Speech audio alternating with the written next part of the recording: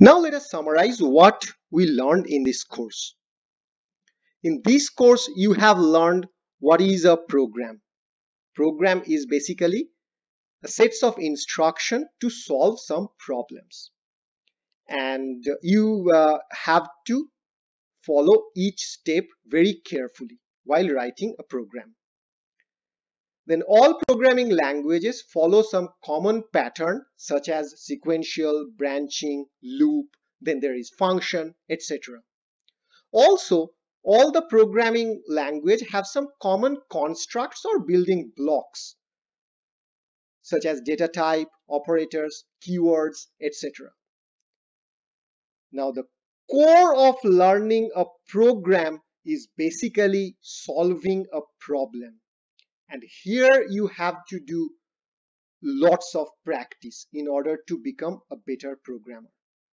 More problem you will solve, more algorithm you will write, more pseudocode you will develop, better programmer you will be in future.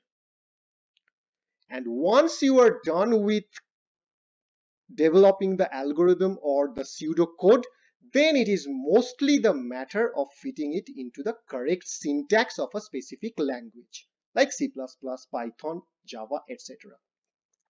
And now in order to do some hands-on experience with some uh, uh, specific programming language, you can select any of the programming language that uh, I offer in this uh, platform. You can select uh, C++ or Java or Python or whatever it is. And so hope you have enjoyed this uh, entire uh, course.